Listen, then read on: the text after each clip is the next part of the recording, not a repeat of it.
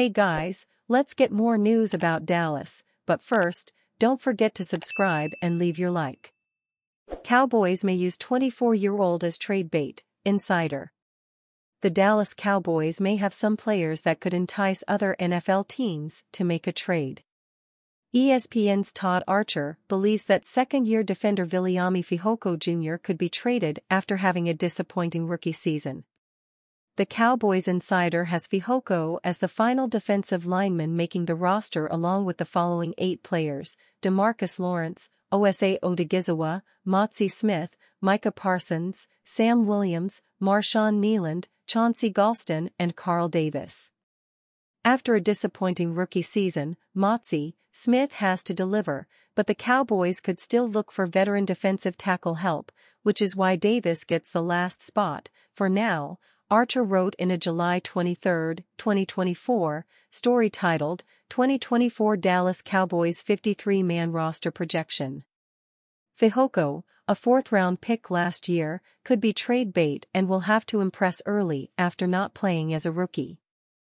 Fehoko was selected in the fourth round of the 2023 NFL Draft with the number 129 overall pick. The pass rusher did not take a snap during his rookie season as Fehoko battled injuries. The 24-year-old will be fighting for a roster spot in training camp. Fehoko inked a four-year, $4.5 million contract in 2023 there would be minimal cap savings made by Dallas releasing Fehoko as the franchise would take a $518,000 dead cap hit as part of his $915,000 salary for 2024, per Spotrac. Given Fehoko is a former fourth-round pick, it is hard to imagine that the defender would generate much value in the trade market. Fehoko's value is also limited given the pass rusher did not play last season. Dallas could look to land a future late-round draft pick, but even this idea may be challenging. The defender shined during his five collegiate seasons at San Jose State.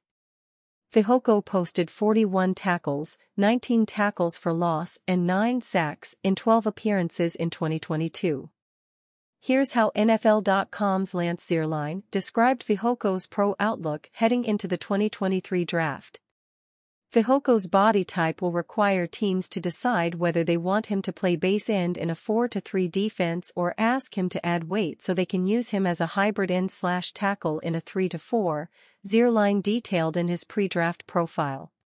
He plays with a nose for the football and a chippy attitude. He's been productive in both phases over the last two seasons, but we will see if that translates against better competition. While he's not as anchor-based as teams might like due to his lack of leverage, he has a nasty spin counter that could be effective as a sub-package rusher. He's strong, tough and active with the talent to become an NFL backup. Dallas faces questions on the defensive line beyond who will make the 53-man roster. One of the biggest question marks remains how impactful the current group of defensive tackles will be in 2024. The departure of Johnathan Hankins means there is a lot of pressure on second-year defensive tackle Mazi Smith. Like Fehoko, Smith did not have the strongest rookie campaign. Smith earned a disappointing 49.9 grade out of 100 from Pro Football Focus for his play in 2023. If there is a position for the Cowboys to target in a trade, adding a defensive tackle makes a lot of sense and would ease some of the pressure on Smith. CeeDee Lamb, Dallas Cowboys have worked on new deal amid holdout. Dallas Cowboys star CeeDee Lamb is officially a training camp holdout, he and the team reportedly have worked on a new deal. Dallas Cowboys star wide receiver CeeDee Lamb is officially a camp holdout. For the past month, it has been expected that Lamb would not report to camp without a new contract and reports on Tuesday morning indicated he was planning to be a holdout as the team charter was being loaded up for Oxnard, and now it is confirmed.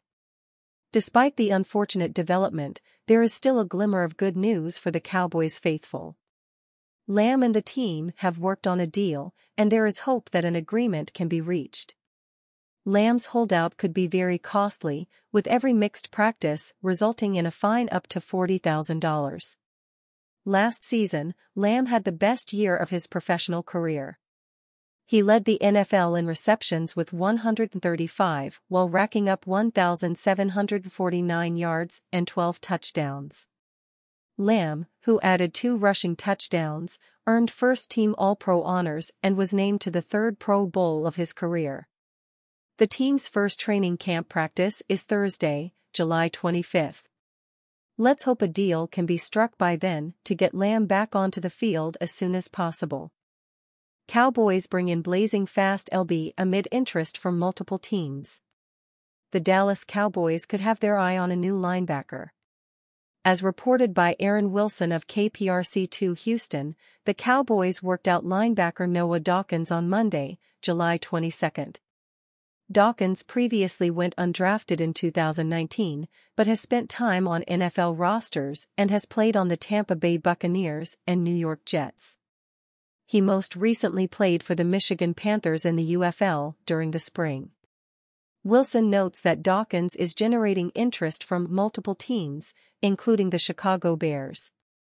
Cowboys and Bears have worked out at USFL Panthers linebacker Noah Dawkins, per a league source, and has interest from multiple hashtag NFL teams Dawkins, 6 to 1, 235, has previously played for Bengals, Buccaneers, Jets, Bears, Citadel Football, writes Wilson. It is actually the second time since minicamp that the Cowboys have taken a look at Dawkins. They previously worked him out, along with UFL cornerbacks Gareon Conley and DeAndre Baker, in June. The Cowboys actually ended up signing Conley shortly after that workout.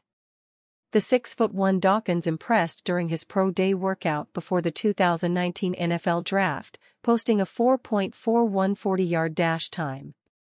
Despite pulling his hamstring during that workout, he still managed to run at that speed. That's not even mentioning how Dawkins actually ran a 4.37 40-yard dash before his pro day workout. Had Dawkins participated in the NFL Combine, the latter mark would have been the fastest of any linebacker in combine history. The 26-year-old Dawkins appeared in 10 games with the Buccaneers during his rookie season in 2019, seeing 65% of the special team snaps. He played the same role for the Jets when he played in seven games during the 2020 and 2021 seasons, appearing in 83 special team snaps in those appearances. During the 2024 season with the Panthers, Dawkins posted 34 tackles in eight games. If the Cowboys do sign Dawkins, it'll likely be in time for the start of training camp. Dallas will hold their first practice on Thursday, July 25. As the Cowboys prepare to begin training camp, they'll have the topic of two looming contract extensions hovering over them. Both of Dallas' top players, quarterback Dak Prescott and wide receiver CeeDee Lamb, are seeking contract extension. Both franchise players are entering the final years of their deals, with Lamb due to hold out during training camp, as he did during minicamp, without a deal in place. While Prescott will not use such a negotiating tactic, he will be present at training camp, the Cowboys face the very realistic possibility this could be his last camp as a member of the franchise if they don't get a deal done soon. According to ESPN's Jeremy Fowler, the Cowboys want a contract in place for Prescott before he hits free agency next spring. However, the longer they wait, the more likely it becomes Prescott's new deal becomes a record-setting contract. Here's a little bit of a wrinkle, Fowler said on Sunday, July 21. You still have Tua Tagovailoa in Miami who needs to get a deal done. You still have Jordan Love in Green Bay, who needs to get a deal done. Dak Prescott has the most leverage of those three, so he very well could be waiting for those two to go first and then he bats clean up with a huge deal that could be a market resetter. The longer the Cowboys wait to get a deal done with Prescott, the more they'll have to pony up in cash.